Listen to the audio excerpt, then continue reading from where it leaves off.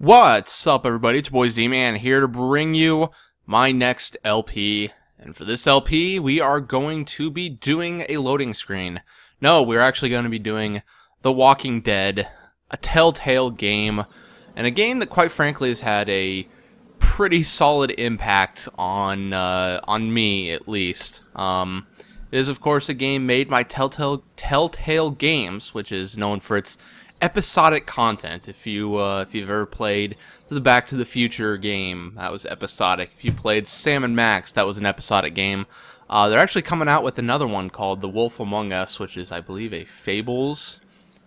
I've never read the comic. I'm sorry, I don't know, but it's it's some sort of another comic book that they're turning into a game, and it looks exactly like The Walking Dead, except for different characters and all that stuff. But of course, this is based off of the cult hit phenomenon media thing from this game called The Walking Dead. From this game, from this universe called The Walking Dead. It's a TV show, it's a comic book, it's several different games. Don't ever get this game mixed up with Walking Dead Survival Instinct.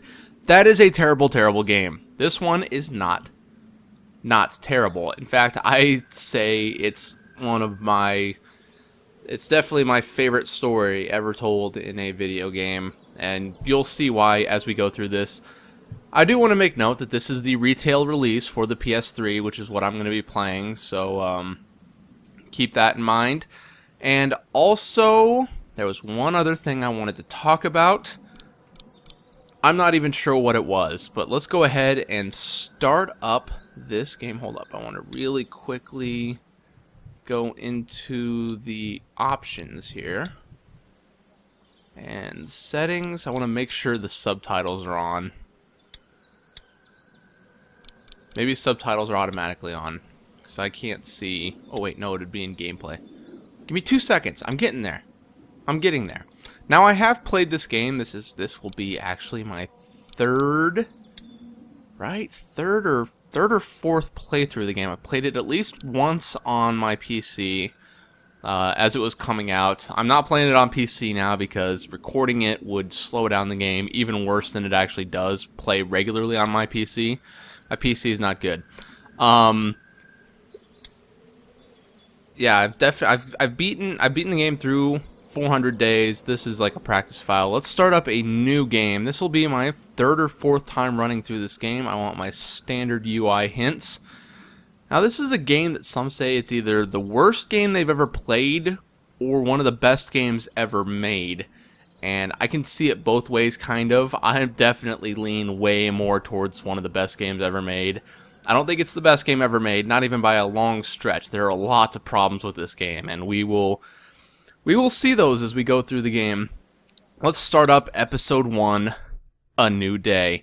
Now, keep in mind I have kind of a little rule for let's plays. If the game if the game says it in game, I can say it in my commentary. And the game does say fuck, it says shit. I'm going to be I'm going to be using those words. I always try to keep myself from saying that stuff as you may well know. The Walking Dead game just awesome. I've never I've never watched the TV show, so don't get mad at me if I don't recognize characters. I've only read some of the comic, not very much of it, so keep that in mind. We're gonna start off here in a cop car, because you know that's what that's that's where you always start off your game as your main protagonist. This is Lee Everett. Uh, voice actors in this game do a great job, by the way. What's up, cop? Don't you be looking at me. I know you're scared. You gonna say something? Well, I reckon you didn't do it then. So this game allows you to make choices. As you can see on the bottom, there's like a little timer that allows you to make the choice. You can say nothing by choosing the ellipses or waiting for the timer to run out. Let's say triangle. You know what they say about reckoning? I don't. But I reckon it's a lot like assuming. Yeah, something like that. You know, I've driven a bunch of fellas down to this prison. You're also able to look around as he's talking here. Check the, out the houses. Pretty scenery. What do you say? And what do you say? I say, yep, I know you didn't.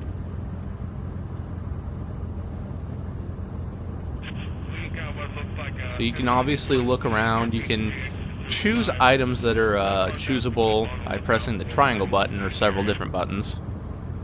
I followed your case a little bit, you being a Macon boy and all. You're from Macon, then? Yep, came up to Atlanta to be a city cop in the 70s. I always wanted to work a murder case, like that senatorial mess you got yourself mixed up in. With all due respect. A real shame, that is. Whoa. Hell, the whole family used to be regulars at your folks' drugstore right in downtown. Still there? Sure is. Good. So the good thing is we've learned a few things about Lee Everett already, and uh, obviously there's some problems going on out there in Atlanta, so... I got a nephew up at UGA. You teach there long? Going on my sixth year. You meet your wife in Athens? Yeah, let's let's not talk about that. You want to know how I see it? No, I... SWAT. No, I don't. Not really. Well, too bad. It's my car. You might have the right to remain silent, but it Shut don't mean I gotta dude. be. You're a f- yeah, yeah, that's what I thought. Stay quiet, asshole. Regardless, could be you just married the wrong woman. Oh, fuck you, asshole. No, say it, Lee. God damn it, Lee. hate that he never says that. Riot in progress. All officers are available for incoming 217. Rolling calls to It's the second time that station wagon's gone by. Whoa! Helicopter and... Uh, okay, something's not going well here. Just FYI. Any of that seem important to you? All of it. But that box never shuts up. Sit in this seat and pay too much attention and you'll drive yourself crazy. Any future cops out there, I'm that's exactly what you need to worry He- about. He was the worst one. he wouldn't stop going on about how he didn't do it. He was an older fella, big soft eyes behind a pair of smart folk glasses. And he just wailing back there. Says it wasn't him. Crying and snotting all over right where you're sitting. officers are available for incoming Dude, you probably should listen to that. Then before long, Just he saying. starts kicking the back of the seat like, like a fussy baby on an airplane. And I tell him he's got to stop. That's government property, and I'll be forced to zap him otherwise. So he stops, and having exhausted all his options, he starts crying out for his mama. Mama, it's all a big mistake. It wasn't me. Man. Man, not even close. They caught the fucker red-handed, stabbing his wife, cutting her up as the boys came through the door. He sits in my car screaming bloody murder that it wasn't him.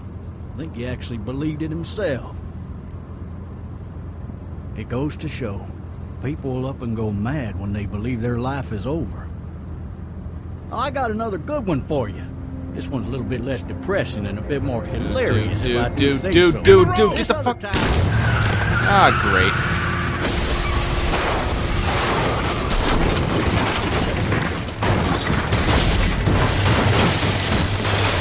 Well, the good news is we probably died, and that's the end of the game. Thanks for watching. No. Um. Yeah, if you probably picked up on a few things there. You heard, you learned quite a bit about Lee Everett, which is what I really like about the beginning of the game. That does not sound good out there, by the way. um, but yeah, this game takes place in Georgia, uh, which is also the same place where the comic and the other thing, the TV show, the one the one that everybody loves to watch. The comic and the TV show also take place in and around. I think it's all in Georgia. I've never seen either of them, so I don't know. And we're still handcuffed during a freaking zombie apocalypse. This is fucking great. And my leg's fucked up. This is all this is all just going swell and splendid. I love it. Dude. You don't look so good. Hey, officer! Are you alright? I Still cuffed back here! Lee, just for the record, I don't think he's all right based on the uh, blood splatter. How the hell did he have his gun out? Oh, he had a shotgun out too. That's good. All right.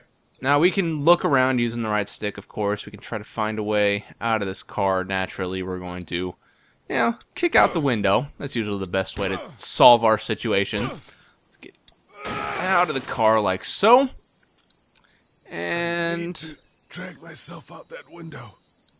Sounds like you're about to die, Lee. All right. You can also move around with the left stick, and it's a point and click game. You guys have all played point and click games before, probably. I guess they're not very prevalent anymore. Mostly because they kind of lack in the gameplay department, uh, the action gameplay department. It's more of a puzzle-based system that you, you use. Most of your games that are point and click are going to be puzzle-based. Um, not very many action games. This one is definitely a puzzle-based gameplay system. Come on, Lee, get your ass moving. We got a cop to uh, go check up on. Get that. Isn't there? I thought. Can't you look at like the blood splatter? I don't know. Officer? God damn. Yeah, this looks this looks just great. All right, let's head on up to the officer. And you know the keys might be good. I do not like the way that right arm is looking. He might have might have broken something there. You can see why this game's rated M. You can also see it's very stylized type game. Yes. Drop your keys right next to the mouth of a dead guy during a zombie apocalypse. Makes sense why he'd think to go fast there. Even though he doesn't really know that we're in a zombie apocalypse, so I don't know why he like sprinted to put his hand down there and steal the keys back. Maybe he thought the cop would wake up. I don't know. Officer? Jump scare. That actually got me the first time I saw it. Dude, stay, stay the fuck away from me.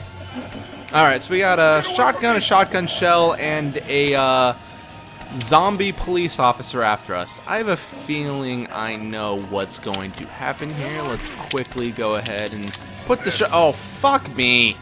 God damn it, shotgun. Sh Get in your home. You too good for your home? Alright, shotgun shell in. And you're dead. Yay! We killed our first zombie. Aren't you guys so proud? It's all all so good. Alright, so being our main protagonist, we're always scared. Little girl! Little girl, help my ass. Go get someone! There, there's been a shooting! Go get someone. Don't go hide in your treehouse or something like that. Just saying. Whoa. Um. yeah, this looks like a great situation to be in. Especially on a bad light. Come on, dude. Why is everyone in this freaking universe so clumsy? Oh, I gotta trip over a dead body. Oh, I gotta slip in some blood. Oh, I gotta trip over this twig in the middle of the fucking road. Come on, people, stand up. I know it's okay. Seriously, dude, you fell again. There wasn't even anything for you to trip on that time. That was just again. Try to get yourself up. This one might be understandable considering his legs all fucked up like that. I don't know. Car crash might screw you up. Get over that fence. And I think we're safe. Probably not. In a real universe, obviously, these zombies are gonna do exactly what they're about to do and knock down this fence. Until... Until... There he is. Some other dumbass starts shooting a gun. For the record, never shoot a gun. If you're in the middle of a zombie apocalypse. This is, this is... I'm gonna give you Z-Man's... Z-Man's way to survive a zombie apocalypse. Never shoot a gun. Unless it's like silenced or something. Use a baseball bat. Hello? Or uh if you can find like a sword, that that would also work very well. I pr- I prefer the uh sledgehammer is probably too slow, but baseball bat is always a good one. All right, so I'm gonna go ahead and cut the part off right here in the backyard of this pretty little house with you know a nice little treehouse light right there.